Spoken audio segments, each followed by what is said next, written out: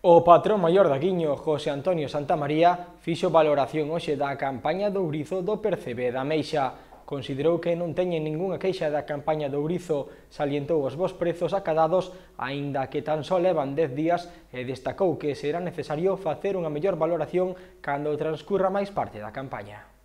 O patrón maior da Guiño, José Antonio Santamaría, fixo valoración hoxe da campaña do Ourizo do Percebe da Meixa considerou que non teñen ningunha queixa da campaña do Ourizo,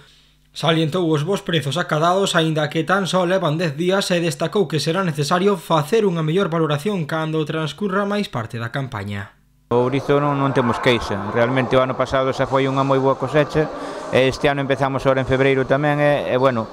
axuda un pouquiño tamén, e, que duda cabe dicilo que os precios e, axuda tamén o mal tempo, porque ao haber mal tempo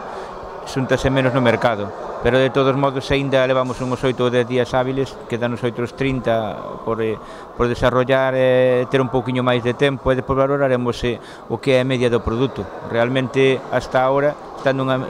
tendo unha media de 7, 7 euros e pico, está chegando máis cara a 9 euros e pico, incluso a 11 euros, e o máis barato non vai ser de, de 7.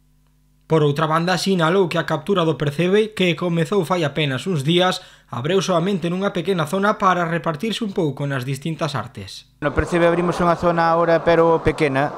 por o, por o detalle de, de repartirnos un pouquiño. Como abreu tamén o ourizo e, e tamén alguén está repartido a navalla e tamén un pouquiño a, a mesa,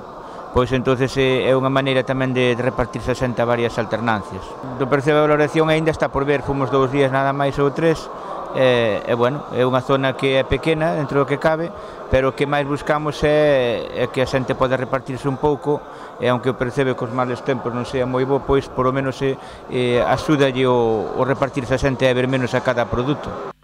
A calidade considerou unha de non moi boa debido ao tempo para poder apañalo. Precios eh, oscilan un pouquiño este dos ou tres días entre 60 e pico, 70 euros o máis caro e eh, chega máis ou menos sobre 10 euros ou así, pero bueno, estamos falando dun percebe que non é de unha calidade moi boa porque non, non hai tempo para, para apañalo ben. Por último, José Antonio Santamaría falou sobre a campaña da Meixa e salientou o mesmo que co percebe, indicando que a zona para a súa extracción é pequena para que a xente poida optar por outras alternativas. A Meixa, bueno, é unha zona tamén pequena, por o que comentei antes que é unha maneira de, de repartirse máis a xente para o que vaya o que máis lle conveña, ou que non teña alternancias tamén e hai xente que non ten o ourizo, así como hai xente que non ten navalla no seu, eh, nos seus recursos, entonces é, é unha maneira de, de repartirse. entonces a Meixa, como che digo, é unha zona tamén pequena daqui da playa,